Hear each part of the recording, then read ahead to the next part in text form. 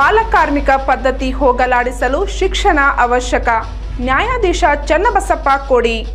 ಕೇಂದ್ರ ಮತ್ತು ರಾಜ್ಯ ಸರ್ಕಾರಗಳ ಯೋಜನೆಗಳನ್ನು ಸಮರ್ಪಕವಾಗಿ ಪಡೆಯಬೇಕಾದರೆ ಹಾಗೂ ಬಾಲಕಾರ್ಮಿಕ ಪದ್ಧತಿಯಿಂದ ಮಕ್ಕಳನ್ನು ಮುಕ್ತಗೊಳಿಸಲು ಪ್ರತಿಯೊಬ್ಬರಿಗೂ ಕಾನೂನು, ಅರಿವು, ನೆರವು ಅಗತ್ಯವಾಗಿದೆ ಎಂದು ಕಾಗವಾಡ ಸಿವಿಲ್ ನ್ಯಾಯಾಧೀಶರಾದ ಚನ್ನಬಸಪ್ಪ ಕೋಡಿ ತಿಳಿಸಿದ್ದಾರೆ.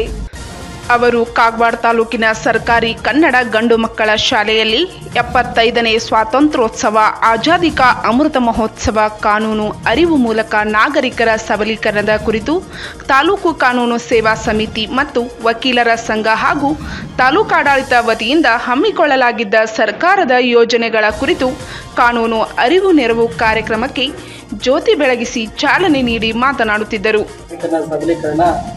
ಈ ಒಂದು ನಮ್ಮ ಕಾನೂನಿನ ಸೇವಾ ಪ್ರಾಧಿಕಾರದಿಂದ ಮಾನ್ಯ ಸರ್ವೋಚ್ಚ ನ್ಯಾಯಾಲಯ, ಅಂದರೆ ಸುಪ್ರೀಂ ಕೋರ್ಟ್ನ ಆದೇಶದ ಮೇರೆಗೆ ಮತ್ತು ಗೌರವ ಮಾನ್ಯ ಕರ್ನಾಟಕ ಹೈಕೋರ್ಟ್ನ ನಿರ್ದೇಶನದ ಮೇರೆಗೆ ಮತ್ತು ನಮ್ಮ ಜಿಲ್ಲಾ ನ್ಯಾಯಾಲಯದ ನಿರ್ದೇಶನದ ಮೇರೆಗೆ ಈ ಒಂದು ಅರಿವಿನ ಕಾರ್ಯಕ್ರಮವನ್ನು ಇವತ್ತು ನಿಮ್ಮ ಈ ಕಾಗೋಡ ಶಾಲಾ ಪಟ್ಟಣದಲ್ಲಿ ನಾವು ಹಮ್ಮಿಕೊಂಡಿದ್ದೇವೆ.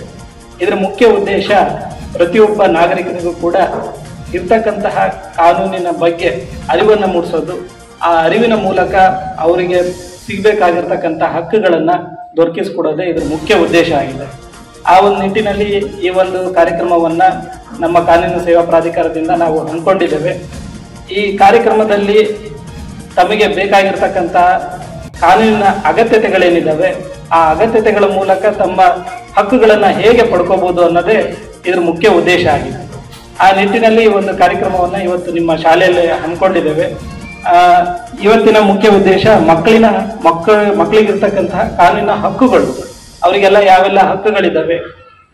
ಶಿಕ್ಷಣದ ಹಕ್ಕಾಗಿರ್ಬೋದು, ಅಥವಾ ಜೀತ ಪದ್ಧತಿಯಿಂದ ನಿರ್ಮೂಲ, ಬಾಲ ಕಾರ್ಮಿಕರಿಗೆ ವಿರುದ್ಧ ಹೋರಾಡುವಂಥದ್ದು ಆಗಿರ್ಬೋದು. ಈ ಇನ್ನು ಹಲವಾರು ವಿಷಯಗಳನ್ನು ಕುರಿತು ನಿಮಗೆ ಸವಿಸ್ತಾರವಾಗಿ ವಕೀಲರು ನಿಮಗೆ ತಿಳಿಸ್ಕೊಡ್ತಾರೆ. ಅದೇ ರೀತಿ ಈ ಕಾಗೋಡ ತಾಲೂಕಿನಲ್ಲಿ ಈಗ ನ್ಯಾಯಾಲಯ ಪ್ರಾರಂಭ ಆಗಿ ಎರಡೂವರೆ ಒಂದು ವರ್ಷ, ಒಂದೂವರೆಗಿಂತ ಹೆಚ್ಚು ವರೆ- ವರ್ಷ ಆಗಿದೆ. ಪ್ರಾರಂಭ ಆದ ದಿನದಿಂದಲೂ ಕೂಡ ಇಲ್ಲಿ ಸೇವಾ ಪ್ರಾಧಿಕಾರ ಅಸ್ತಿತ್ವದಲ್ಲಿದ್ದನ್ನು ಕೂಡ ನಮ್ಮಲ್ಲಿ ಸೇವಾ ಪ್ರಾಧಿಕಾರದಲ್ಲಿ ಬಂದು ತಮ್ಮ ಕುಂದುಕೊರತೆಗಳನ್ನು ಹೇಳ್ಕೊಡೋ ನಂತರ ಕಾಗವಾಡ ತಹಸೀಲ್ದಾರ್ ರಾಜೇಶ್ ಬುರ್ಲಿ ಮಾತನಾಡಿ ನಮ್ಮ ಗ್ರಾಮೀಣ ಭಾಗದ ಹೊಲದಲ್ಲಿ ಹಿರಿಯರು ಕೆಲಸ ಮಾಡುವುದು ಕಡಿಮೆ ಇದ್ದು ಹೆಚ್ಚಾಗಿ ಬಾಲ ಕಾರ್ಮಿಕರೇ ಕೆಲಸ ಮಾಡುತ್ತಾರೆ. ಬಾಲ ಕಾರ್ಮಿಕ ಪದ್ಧತಿಯನ್ನು ಮುಕ್ತಗೊಳಿಸೋಣ ಅವರನ್ನು ಶಿಕ್ಷಣವಂತರಾಗಿ ಮಾಡೋಣ ಎಂದರು. ಅರಿವು ಮತ್ತು ಬಾಲಕಾರ್ಮಿಕ ಮಕ್ಕಳ ಹಕ್ಕುಗಳ ಕುರಿತು ಮರಿವಿನ ಅವರು ಬಹಳ ಮಾರ್ಮಿಕವಾಗಿ ಮತ್ತು ತಿಳುವಳಿಕೆಯನ್ನು ಅವರು ನೀಡಿದ್ದಾರೆ. ಈಗಾಗಲೇ ಬಡತನ ಕುರಿತು ಒಂದೇನಾಗ್ತದೆ ಅಂತಂದ್ರೆ ಬಾಲಕಾರ್ಮಿಕ ಪದ್ಧತಿ ಮುಂಚೆಯಿಂದ ಇತ್ತು ಅನ್ನುವಂಥ ಪ್ರಶ್ನೆ ಬರ್ತದೆ. ಈಗ ಸಾಕಷ್ಟು ತಿಳುವಳಿಕೆ ಆಗಿರೋದ್ರಿಂದ ಸಾಕಷ್ಟು ಜನರಿಗೆ ಆ ಕುರಿತು ಮನವರಿಕೆ ಆಗಿರೋದ್ರಿಂದ ಭಾಳಷ್ಟು ಬಾಲಕಾರ್ಮಿಕ ಪದ್ಧತಿ ಕಡಿಮೆ ಆಗಿದೆ. ಕಡಿಮೆ ನೈಂಟಿ ನೈನ್ ಪಾಯಿಂಟ್ ಆಗಿರ್ಬೋದು. ಬಟ್ ಒನ್ ಪರ್ಸೆಂಟ್ ಎಲ್ಲೋ ಒಂದು ಕಡೆ ಸ್ವಲ್ಪ ಮಟ್ಟಿಗೆ ನಮಗೆ ತಿಳಿಲಾರ್ದೇ ಇರ್ತದೆ. ಸೊ ಅಂಥವು ಯಾವುದಾದ್ರೂ ಇತ್ತು ಅಂತಂದರೆ ಇದೀಗ ನಮ್ಮ ಮೇಡಮ್ ಅವರು ಹೇಳಿದರು. ತಾವು ಗ್ರಾಮ ಪಂಚಾಯತಿ ಮಟ್ಟದಲ್ಲಿ ಒಂದು ಕಾನೂನು ಕೇಂದ್ರ ಇದೆ, ಅಲ್ಲಿ ನೀವು ಮೂಕರ್ಜಿಯನ್ನು ಕೊಡ್ಬೋದು ಅನ್ನುವಂಥ ಮೂಕರ್ಜಿನೂ ಕೊಡ್ಬೋದು ಅಥವಾ ದೂರವಾಣಿ ಮುಖಾಂತರ ನೀವೇನಾದರೂ ನಮ್ಮ ಅನೇಕ ಇಲಾಖೆಗಳಿಗೆ ನೀವು ತಿಳುವಳಿಕೆ ಕೊಟ್ಟರೆ ನಾವು ತಕ್ಷಣ ಕಾರ್ಯಪ್ರವೃತ್ತರಾಗಿ ಆ ಬಾಲ ಬಾಲ ಕಾರ್ಮಿಕರು ಏನಿರ್ತಾರೆ ಅವರನ್ನು ನಾವು ತಡೆಯುವಂಥ ಒಂದು ವ್ಯವಸ್ಥೆ ನಾವು ಮಾಡ್ತಾ ಇದ್ದೀವಿ. ಅದರ ಜೊತೆಗೆ ಬಾಲ ಕಾರ್ಮಿಕರ ಜೊತೆಗೆ ಇದನ್ನು ಹೇಳಿದರು, ಯಾವುದು ಹದಿನೆಂಟು ವಯಸ್ಸು ಒಳಗಿನ ಹೆಣ್ಣು ಮಕ್ಕಳ ವಿವಾಹ ಕುರಿತು ಒಂದು ಮಾಹಿತಿಯನ್ನು ಕೊಟ್ಟಿದ್ದಾರೆ.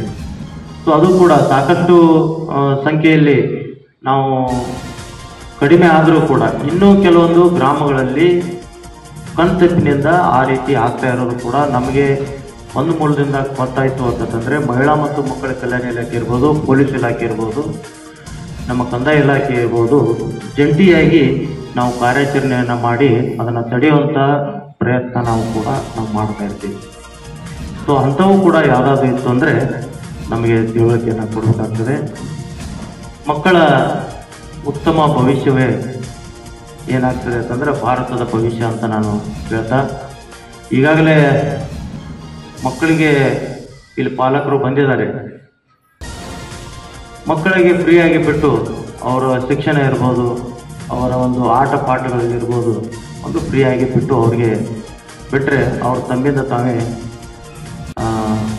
ಉಜ್ವಲವಾಗಿ ಬೆಳಲಿಕ್ಕೆ ಅನುಕೂಲ ಆಗ್ತದೆ. ಅವ್ರಿಗೆ ಯಾವುದೇ ರೀತಿ ರಿಸ್ಟ್ರಿಕ್ಷನ್ನ ಹಾಕ್ಬಾರ್ದು. ನಾವೆಲ್ಲ ಹೆಂಗಾಗಿದೆ ಅಂತಂದ್ರೆ ನಮ್ಮ ಶಿಕ್ಷಣದಲ್ಲಿ ಅರವತ್ತು, ಅರವತ್ತೈದು ಮಾರ್ಕ್ಸ್ ತೊಗೊಂಡವರು ಅಗ್ರಿ ಗ್ರೇಟ್ ನಾವು ಕರ್ನಾಟಕಕ್ಕೆ ಹಕ್ಕುಗಳು ಎಂದರೆ? ಈಗ ಮೊಟ್ಟ ಮೊದಲಿಗೆ ಮಕ್ಕಳ ಹಕ್ಕುಗಳಂದ್ರೆ ಏನು ಅನ್ನೋದ ತಿಳ್ಕೋಬೇಕು.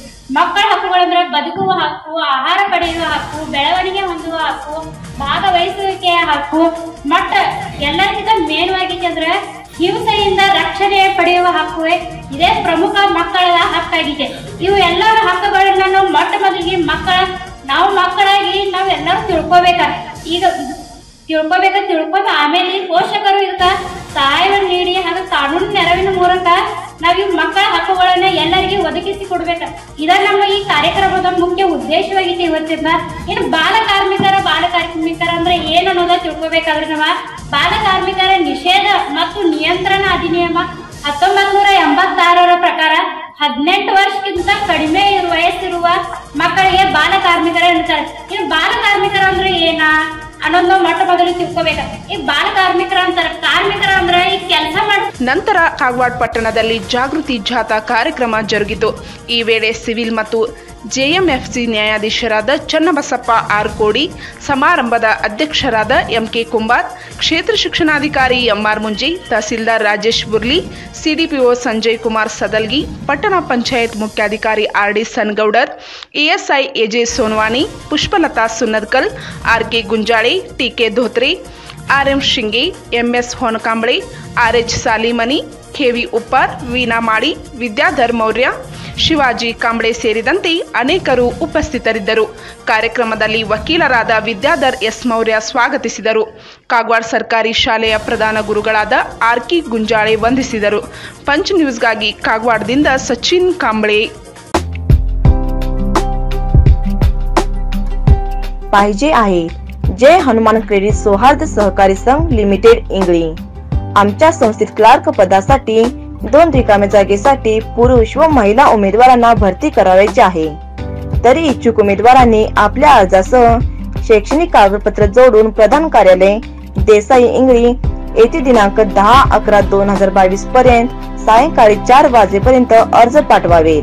शैक्षणिक पात्रता M com B com M B A B B A B S C B C A and basic computer knowledge अधिक माहितीसाठी mobile number nine seven three nine four zero nine four seven सिक्सला संपर्क करा.